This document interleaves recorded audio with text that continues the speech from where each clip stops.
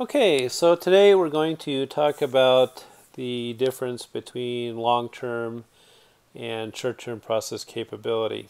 And you know, if you're a um, quality practitioner, uh, you're often uh, asked to provide some kind of capability index. So it may be CPK or or PPK, which is you know a way to show a process's output against some kind of requirements.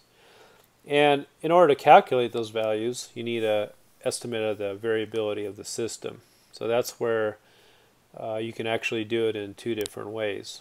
So let's go ahead and just start with this chart here and let's assume for a moment that this represents the same process. Okay, so this process may have been running you know at some level down here and then suddenly there was a process shift and it, and it moved up here.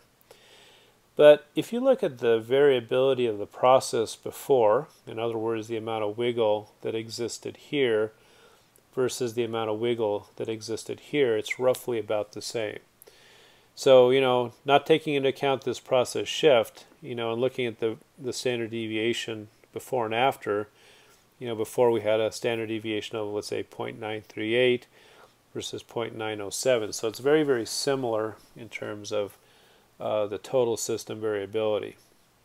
So short-term capability actually tries to estimate the true variability of the process without these kind of shifts or instabilities. And the way it does that is either through subgrouping. So let's say you take you know, sample of size 5, calculate the subgroup, average, and range, and then use that range to calculate an estimate of the standard deviation or sigma or sigma hat.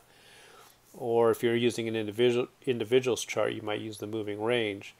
So what it's trying to do is trying to understand the true variability of the process. Okay, so it's really the inherent process variation that we're trying to calculate. Um, it's the best or least variation we can expect from a process, and it's also a very optimistic uh, estimate to meet the specifications. So this is in comparison to uh, the long-term variability. So the difference is here with the long-term variability is you're taking not only the amount of variability here and here, you're throwing everything into a big bucket and calculating, calculating the standard deviation, including any effects that are a result of this process shift. So here we're actually increasing the distance between all the points from this level here all the way down to here. And if you calculate the standard deviation of everything, you get about 1.9. Okay, so you see roughly twice the standard deviation when you combine everything from that process versus you know the short-term estimate, which is based more on trying to understand the true variability without this process shift. Now, when you do that, when you combine everything together, you know, it is the total process variation over time. Uh, sometimes it's called the total outgoing quality levels. And of course, the process shifts will make this value larger than the short-term variability estimate. Now, if you have, you know, total, you know, control, statistical control, and, you know, there is no shift like this, and we just have a nice clean process, then the CPK and PPK values will both use roughly the same estimate of variability. They will be roughly the same, and these values should be a lot closer. But usually what ends up happening is there are some instabilities, there are process shifts, so PPK will actually show a worse process capability index than CPK. Okay.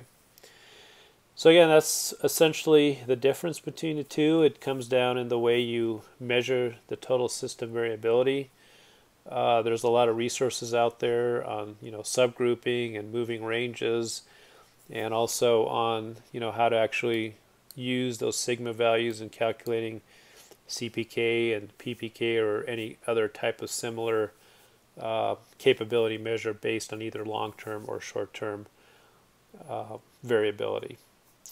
Uh, hope this helps, and we'll talk to you again.